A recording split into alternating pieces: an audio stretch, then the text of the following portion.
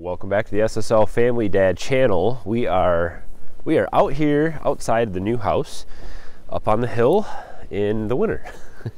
it's uh, lots of snow on the ground. We got some more snow last night, but projects can't just stop because we got some snow. And so I've got to get a few things done today. And one of the things I wanted to show you guys was, and one of the problems I think a lot of people have, you move into a new house uh, and you have to kind of figure out all the little quirks. You got to figure out what works, what doesn't, and what's been taken care of, what needs to be added, all these things. And one of the things that we like to do at all of our homes is we like to have good light on the outside of the house, and we've also always put up some kind of a camera.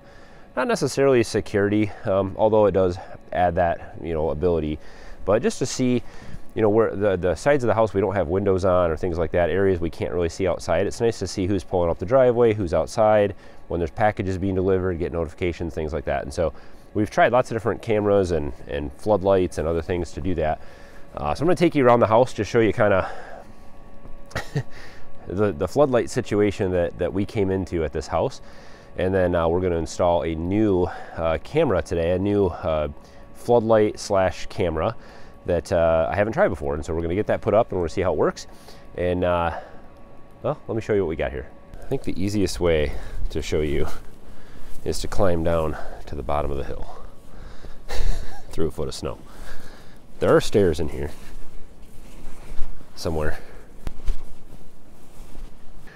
Okay, so we're at the bottom of the hill uh, in the, the backyard, I guess you'd say this is the south side of the house and uh, I'm going to show you some pretty pretty uh, amazing icicles also. But uh, we have a couple floodlights that were here. So there's one right up on the corner there. Uh, that one was not working when we moved in, and I installed a ring floodlight. That's a, a ring smart floodlight or whatever. It's a motion sensitive floodlight. So that has a zone that covers this kind of area of the backyard. So anybody, if you come up these stairs or anything like that, it triggers that motion light. If anyone's on the back deck, if anyone's on the back side of the house here, the driveway kind of comes up on the top of the ridge there. That will trigger the floodlight. It gives us notification that somebody's out there. It kind of lets us see the backyard. Um, and so that's pretty nice. And then on the back side of the house here, I'll kind of walk over around the atrium side. Look at those icicles right there. Say hi to summer. Hi.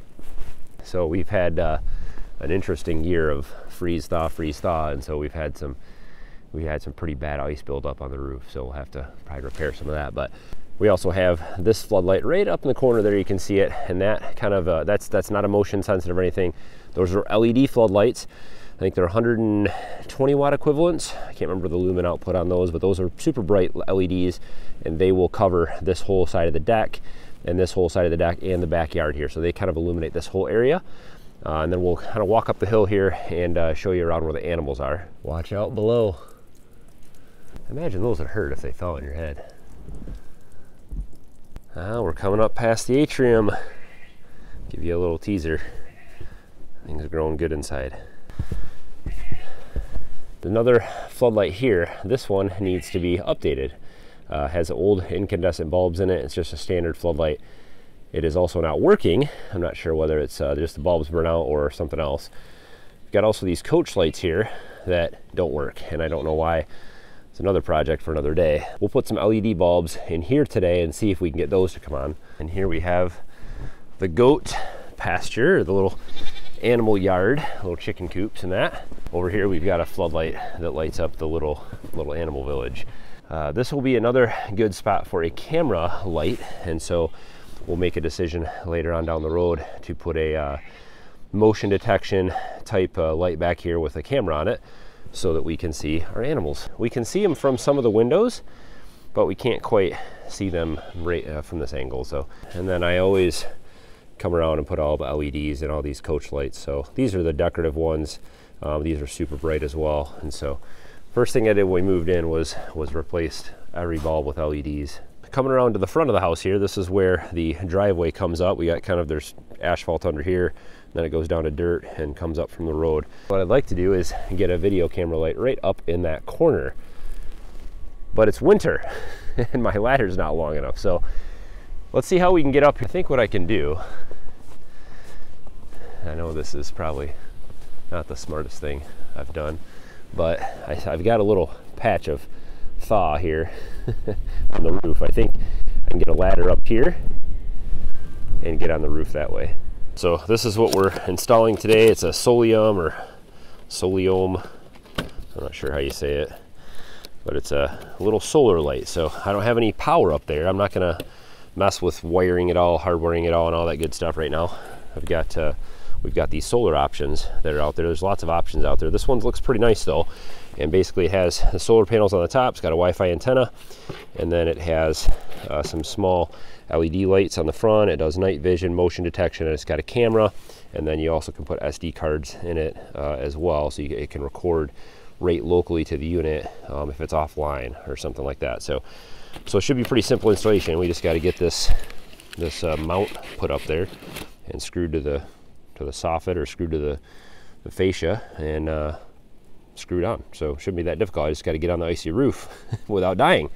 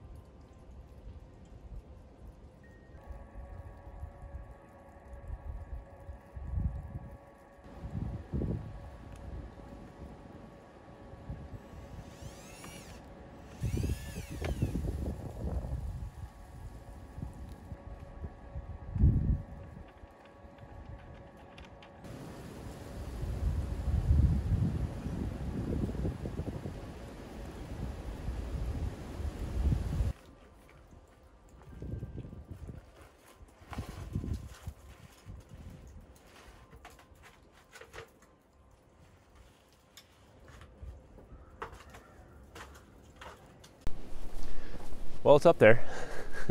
I guess uh, maybe I should have said first, uh, don't try this at home. Uh, probably not the safest thing to do. It was pretty slippery up there, but the, straddling the, uh, the top of the roof, so one foot was on each side. So I guess if I slipped, at least I would have the other foot on the other side of the roof to not die. So there it is. And I know there's a lot of trees around here, but I think it'll catch a decent amount of sun. So that should, should charge it up uh, pretty well. I already charged it up 100% uh, before I put it up there uh, you know, out of the wall charger with a USB cord. But uh, that should give me a pretty good view of the driveway and uh, anybody coming up the sidewalk here. All right, so the camera's up there and it's online. So once we select it, there you can view it in, in standard definition or high definition, but generally I just I'll leave it on standard definition just so it doesn't use up as much power. So this is the full screen shot that uh, gives us from that point. It's, it's nice to have it up high on the peak there so we can get a good vantage. Now, when the leaves are on all the trees here, we won't be able to see quite as much, but uh, we'll still be able to get, a, get an idea of who's in the driveway and pulling up and, um, and walking up the, the side uh, sidewalk there. So uh, this also has night vision, so it can pull up at night. You can also take uh, snapshots of the uh, of, of, something if there's somebody there or something you want to save. You can actually use the microphone to talk outside, so it has a small speaker in it. So if somebody was out there, uh, you weren't home or something like that, you could speak to the person. You can also record a video, which goes directly to the SD card that's that I put in the bottom of it, the micro SD, or you can uh, uh, record it. And I think there's a cloud service that they offer where it will store it up on the cloud for you as well. So pretty handy to have these uh, little cameras.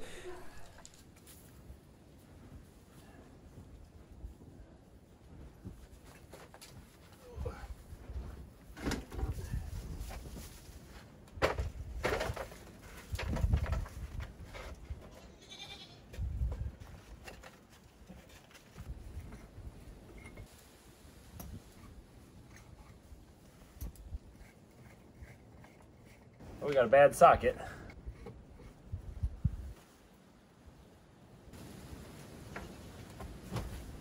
All right, so that is uh, a good candidate for a complete replacement. So that one I'll, I'll, get a whole new unit to put up there because one of the sockets on that is broken. But I always use these LED bulbs. So this one here, this is an EcoSmart brand. This is not the brand that I normally use. I just happen to have these from the old house.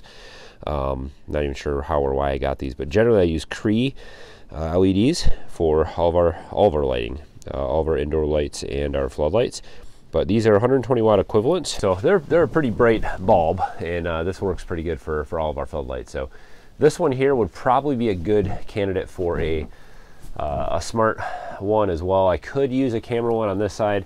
Uh, this one just overlooks the kind of the side of the pasture though, so I don't really need too much visual on this end of the house. I do have the uh, door wall right here as well where I can see, uh, you know, out this side. So probably just do a motion light over here or maybe just a static floodlight and just, uh, it's got a switch on the inside of the door here. I can just turn on and off when I, when I want to see out here. So that might be the way to go. Maybe just a dusk to dawn sensor so it, it's not on during the day like it is now. So exterior lighting, it's, uh, it's a lot of fun, uh, especially dealing with it at this time of year, but sometimes you just got to deal with these projects when you when you have time and i have time today so let's get it done. Still have some work to do with some of these other lights but uh, that can be done. I'll, I'll, save that for later day i've got a few things i want to order now at least i know what i need to get so i can jump over on amazon and uh, order a couple different lights. I'll put a link in the description for the ring uh, floodlight that i got. I do like that one. It, it works pretty good. And also this uh, Soliom uh, camera light which i like a lot um, it's actually less expensive than some of the ring options out there. Uh, I do like the ring lights, but uh, I went back and forth on, on which one to get, and I, and I do like this one a little bit better. Uh, it's got some some nicer features on it, and so check that one out if you're interested in getting a kind of a camera type uh, security light or floodlight. Um, that's not a floodlight that I'm going to leave on all the time. It's not going to stay on all night. It does have a motion range, and it will come on but uh, you know it's solar powered so I don't want to burn up the battery and I don't want to have to go up there and take it out and charge it. So much more to do in this house. I will take you guys through on a full LED lighting kind of uh, tour or explanation.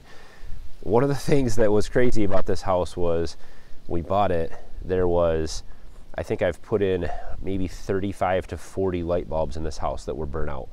And uh, I just keep finding more, like these floodlights on the outside here, the, another set that was burnt out. So we, have put a lot of lights in and so I'll go through a whole kind of tour of what LEDs I choose, what to look for in LED lighting, all the different numbers, what they mean, Kelvin and color temperatures and, and wattages and, and, lumens and all that stuff. And so we can kind of go through and, and I'll show you what we've done in the house to upgrade everything to LEDs save power, and uh, the less I have to climb up on ladders and replace light bulbs, the better. So as always, don't forget to hit thumbs up on today's video. Uh, I'd love to hear from you guys too. If you have uh, suggestions or comments on what do you guys use for LED lights, what do you guys use for floodlights, what's your favorite smart floodlights or motion detection or all that kind of good stuff. Uh, I'd love to hear what you guys think and, and throw that stuff in, in the discussion below to uh, share with others too. So as always, guys, thanks for watching. Have a good one.